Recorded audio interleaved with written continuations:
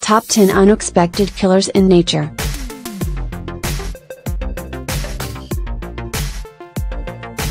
Mother Nature is filled with formidable killing machines. Voracious flesh eaters such as the thresher shark, the harpy eagle, the death stalker scorpion and and how about that rosy snail? Or the oyster mushroom? Some animals kill with teeth, claws and muscle and others kill with little more than mucus and patience. If you've taken college biology, you may be familiar with the humble planarian, a primitive animal consisting of little more than a thin sheet of tissue with a minimal nervous system. Most species inhabit water, but a few can be found slithering on dry land, and these nearly brainless creatures are sometimes carnivorous. Various land planaria live off a diet of earthworms, which they dissolve into mush with the secretion of a digestive enzyme. Related to crickets and grasshoppers, katydids are usually tree-dwelling leaf eaters, best known for the male's nocturnal mating calls. Australia's Chlorobalius leucoviridis, however, modifies its mating call to sound like that of an entirely different insect, a male cicada, and devours any female cicada who falls for the ruse. Amazingly, the same katydid can recognize and imitate the call of any cicada it hears, including species not found in Australia. While thousands of species of fungi feed parasitically on animals, only a couple hundred are truly predatory. The mycelia or roots of some fungi grow sticky, poisonous or even noose-like traps to ensnare microscopic prey, usually nematode worms. The most surprising example may be Pleurotus ostreatus, the commonly eaten oyster mushroom, which kills nematodes to obtain more nitrogen. They may look like plants or fungi, but sea sponges are actually one of the simplest and most ancient forms of animal life.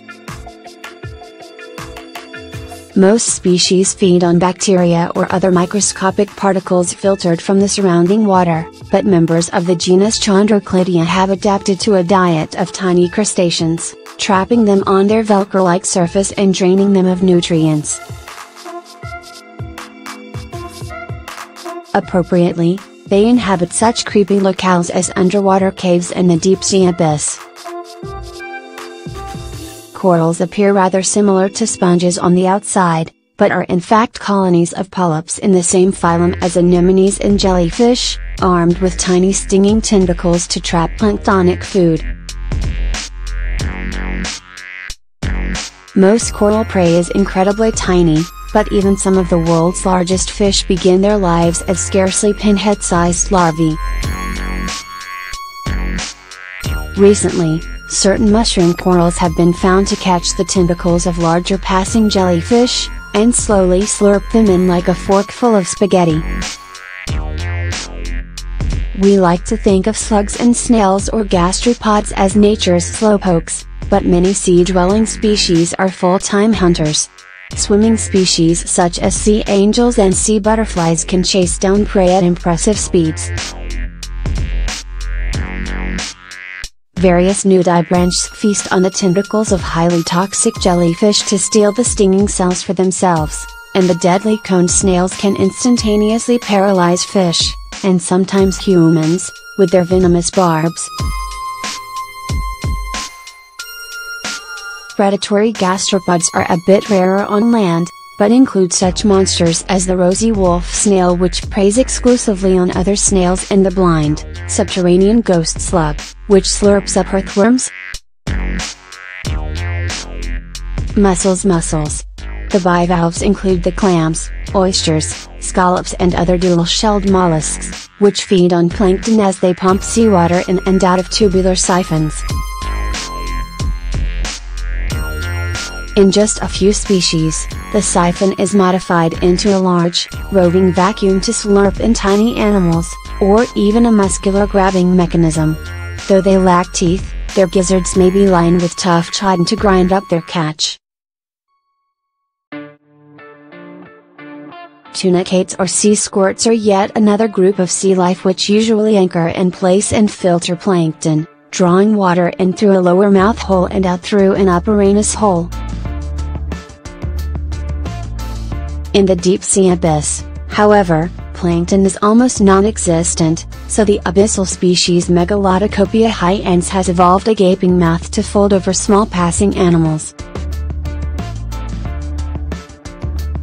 This was once believed to be the only carnivorous tunicate, but a second species was recently identified off the coast of Australia. Caterpillars.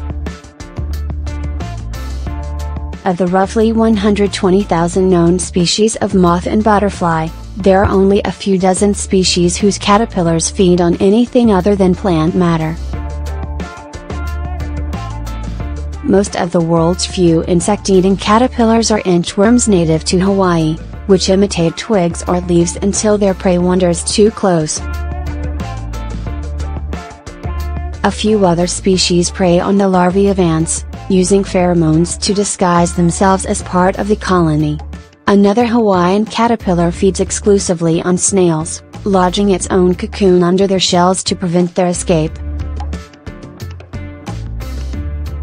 Most morbid of all, however, is the bagworm Perisceptis carnivora of Panama.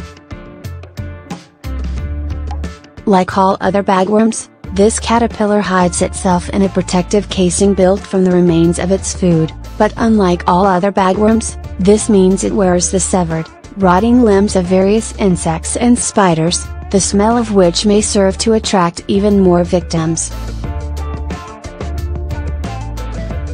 Believe it or not, a very large portion of sea stars are strictly predatory, though most only attack slower moving or unmoving prey such as snails, corals and sponges.